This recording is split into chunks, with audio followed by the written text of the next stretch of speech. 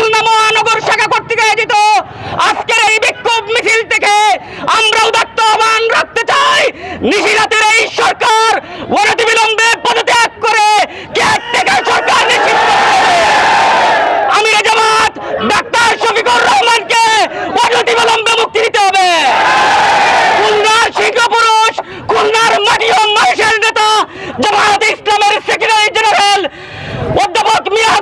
গোলাম পরোয়ারকে মুক্তি দিতে হবে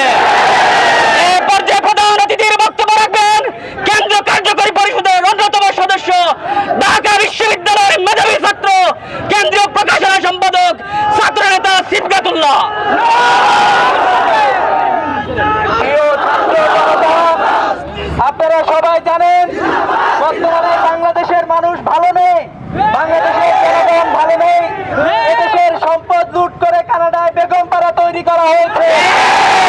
মানবাধিকারকে লঙ্ঘন করা হয়েছে। বাংলাদেশের তৈরি জনতার মানবাধিকার লঙ্ঘন করা হয়েছে। আমাদের উপরে ইতিহাসের বর্বরচিত মানবতার বিরুদ্ধে অপরাধ সংগঠিত হয়েছে। আমরা আজকের এই ছাত্র সমাজের জমায়েত থেকে এই সরকারকে দাবি জানাইতে চাই যে আপনাদেরকে অবিলম্বে পদত্যাগ করতে হবে। সরকারের অধীনে নির্বাচন দিতে হবে। সুন্দর বাংলাদেশের স্বপ্ন দেখি। যে বাংলাদেশে ছাত্ররা তাদের কথা বলে আপনার ফাহাদের মতো দেশের পক্ষে কথা বলে জীবন দিতে হবে না। একটি বাংলাদেশের স্বপ্ন দেখি যে বাংলাদেশে জিনিয়ার মতো বন্ধের কথা বলার জন্য দিনের পর দিন কারাগারে থাকতে হবে না। বাংলাদেশে নেত্রী খালেদা জিয়াকে জেলে থাকতে হবে না।